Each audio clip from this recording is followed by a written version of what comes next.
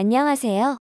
오늘은 2022년에 상영된 화제의 영화 문폴을 소개해드리려고 합니다. 이 영화는 감독 롤랜드 에머리히가 연출하였으며 할리 베리, 패트릭 윌슨, 존 브래들리 등 다양한 배우들이 출연한 SF 재난 영화입니다. 이 영화는 궤도를 이탈한 달이 지구로 추락하는 상황에서 벌어지는 이야기입니다. 이로 인해 지구는 거대한 해일과 지진, 화산 폭발, 쓰나미와 이상기후 등을 겪게 됩니다. 달과 충돌까지 남은 시간은 단 30일밖에 남지 않았습니다.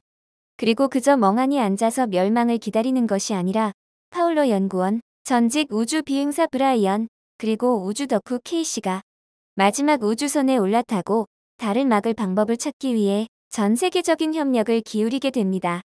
이 영화는 새롭고 짜릿한 스릴과 박진감 넘치는 장면들로 가득합니다.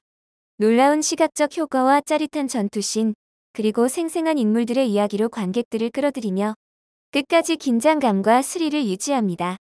문폴은 달이 지구에 떨어지는 위험을 막기 위해 용감하게 싸우는 인류의 이야기를 담고 있습니다. 이번 주말 꼭 한번 보시길 추천드리며 다음 영상에서 또 만나요.